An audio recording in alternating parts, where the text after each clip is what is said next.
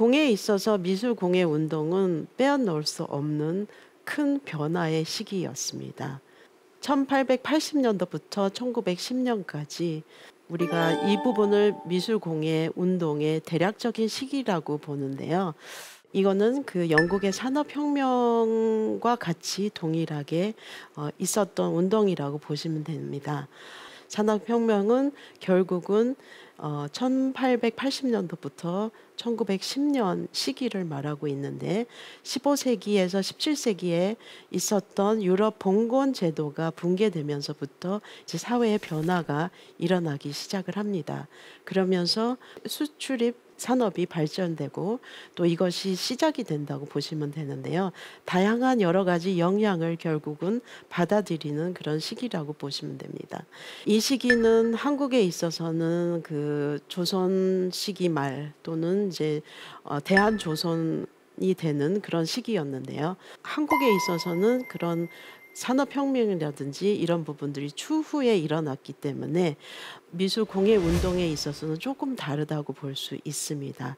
직접적으로 미술 공예 운동을 가장 앞서서 이거를 선도했던 나라는 영국이라고 보시면 되고 영국에서 이 운동이 미국으로까지 전파가 되는데 이것은 역사적인 흐름에 인해서 어, 그렇게 전파가 되는데요. 우선 어떤 이유로 어, 이런 운동이 만들어졌는지 대해서 설명을 드리겠습니다.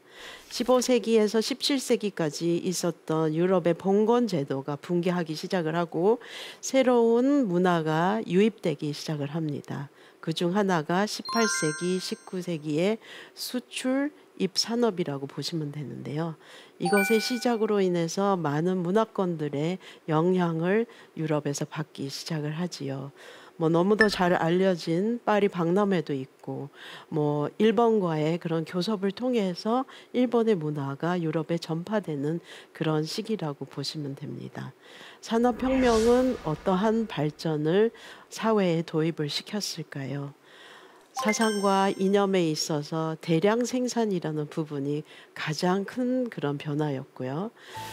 그러면서 이제 기계의 발명, 새로운 발명으로 인해서 그 모든 사회적인 변화가 일어나기 시작을 합니다.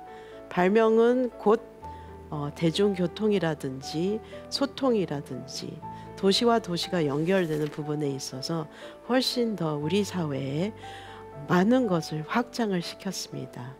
그러다 보니 수공예로 이때까지 작업을 해온 그런 장인들은 위기 의식을 느낄 수밖에 없었던 어, 그런 상황이었습니다.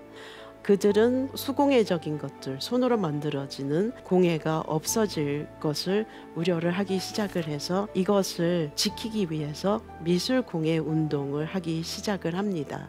하지만 그들만을 갖고 이런 운동이 일어날 수는 없었습니다. 사상가들 또 애호가들 또는 이걸 소장하는 그런 사람들과 동일하게 같이 이 운동을 일으키기 시작을 하는데요. 이 당시에는 17세기 이전과 다르게 그 손으로 만들었던 사물들이 어떠한 그런 질적인 부분에 있어서는 굉장히 어, 뭐랄까 안 좋아지기 시작을 했다고 보시면 됩니다. 보시다시피 손으로 만들었던 자수나 또 직물과 직조로 한 땀 한 땀 짰던 것들을 이제는 기계로 만들기 시작을 했습니다. 뭐 지금으로 말할 것 같으면 21세기 와서는 AI 지금 한참 화두가 되고 있는 이런 부분들이 있는데 마찬가지로 AI로 인해서 우리가 하고 있던 그런 직업 우리 사람이 할 수 있는 모든 것들이 변하고 있지요. 따라서 뭐 공예를 말할 것 같으면 더 이상 우리가 손으로 안 만들어도 되고 기계가 이거를 대체하지 않을까 하는 뭐 그런 우려이죠. 그 당시에 사람들도 저희와 같았을 거라고 생각을 합니다. 네, 대표적인 발명으로는 뮬 방적기인데요. 사뮤얼 크롬톤에 의해서 손으로 만들어졌던 섬유, 직물들이 이제는 대량 생산에 의해서 만들어지기 시작을 했습니다.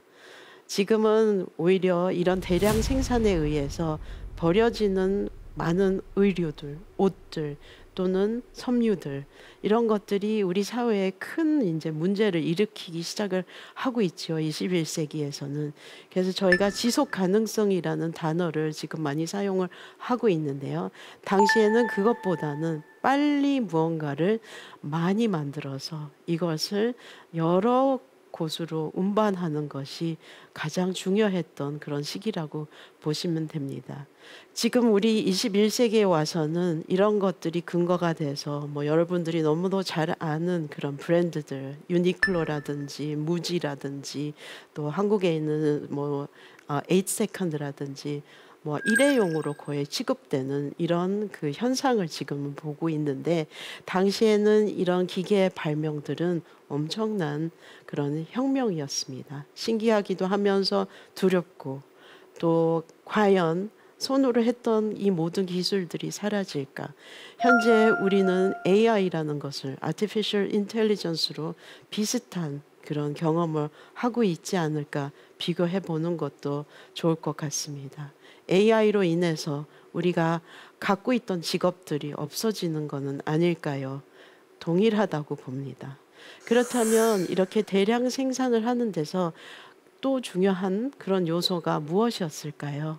그 요소는 대중교통이었습니다.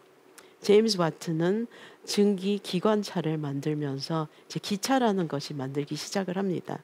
기차라는 것을 이제 운영하기 위해서는 별도의 저희가 이제 수단이 필요했는데요. 철도가 만들어지고 또 수로가 만들어지고 길이라는 이 개념이 만들어지기 시작을 하지요. 결국은 공장에서 만들어졌던 이런 물건들을 도시와 도시로 연결할 수 있었고 빠른 시간 안에서 물류를 운송할 수가 있었습니다. 대량 생산에 있어서 이것이 도시와 도시로 옮겨진다는 것은 필수적인 그런 사회적인 부분이었습니다. 네, 런던에서는 1863년에 지하철이 만들어지기 시작을 합니다. 지하철은 도시와 도시를 시간을 단축하면서 좀 더 빨리 연결을 할 수 있었던 교통의 수단이라고 볼 수 있습니다.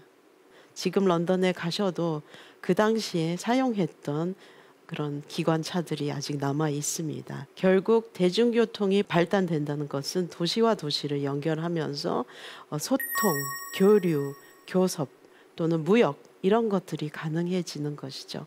역시 그렇게 하면서 도시라는 개념이 처음으로 도입되기 시작을 합니다.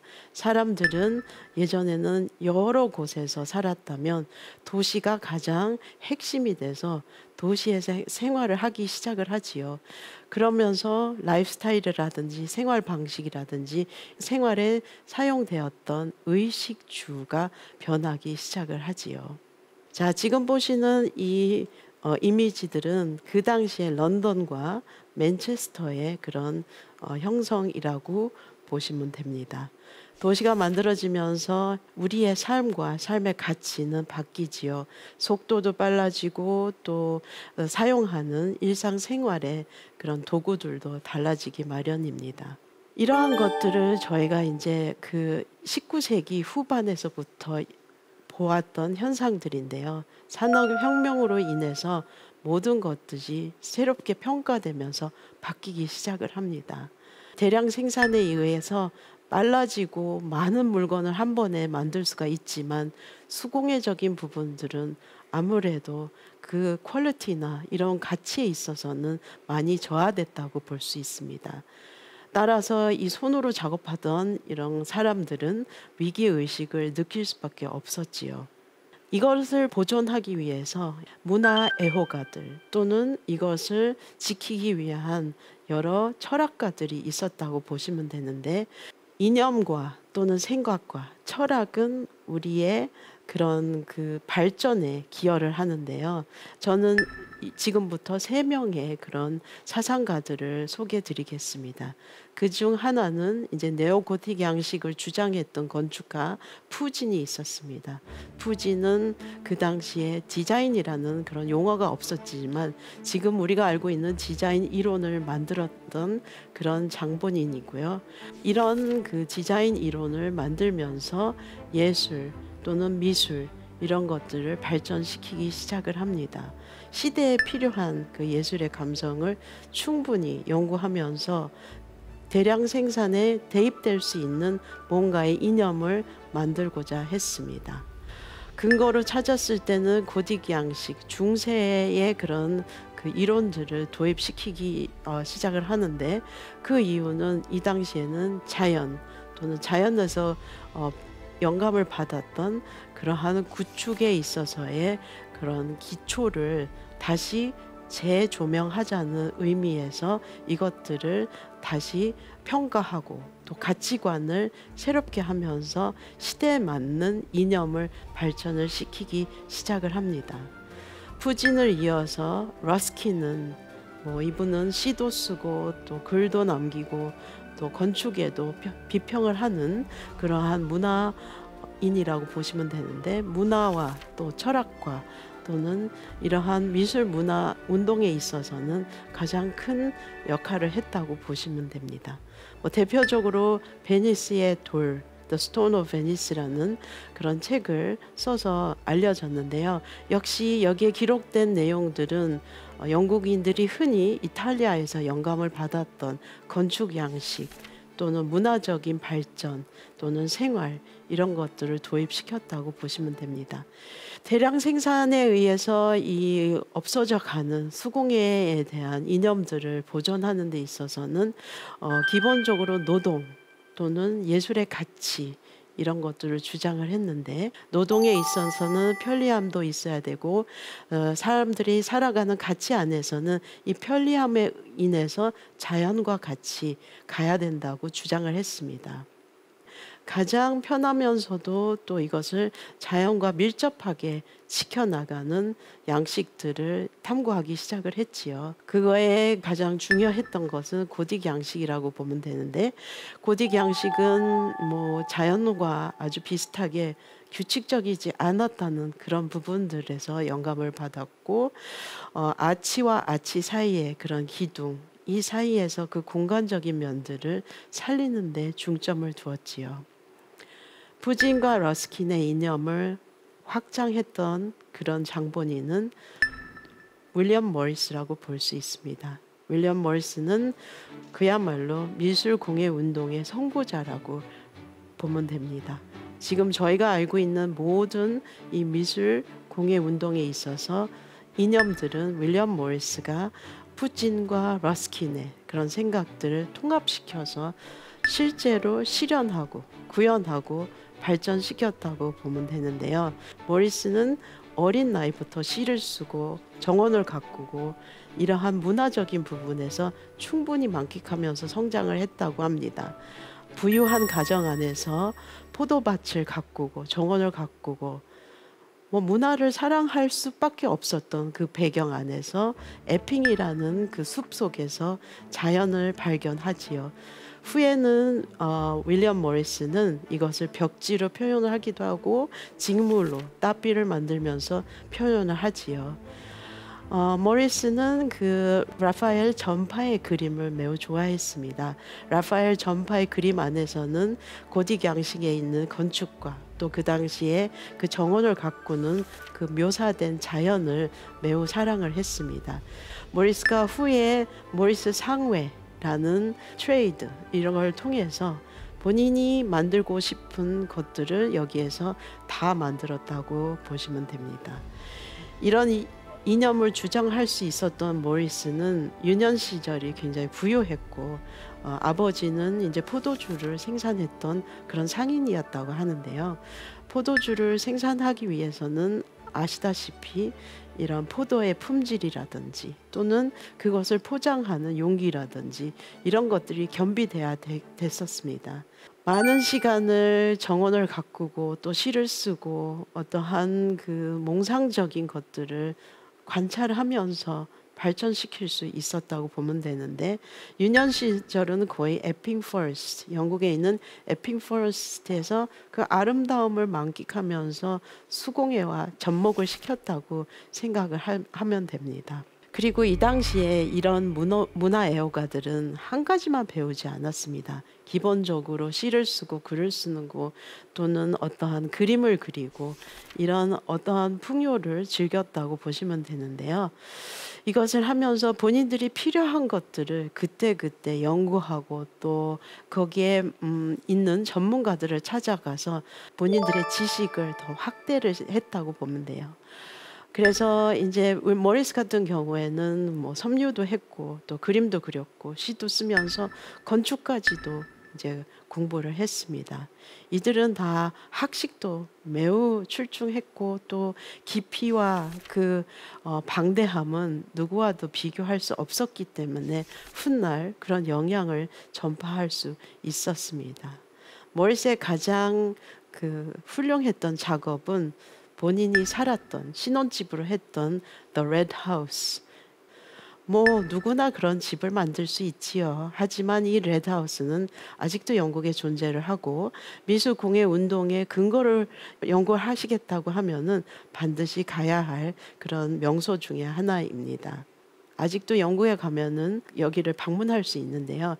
그런데 레드하우스가 단지 집을 설계하고 장식을 하는 그런 근거로서 남아 있는 것이 아니라요. 그 당시의 시대적인 이념을 가장 잘 보여줬다고 할 수 있습니다. 최고의 장인들을 모아서 만든 집이라고 보면 됩니다.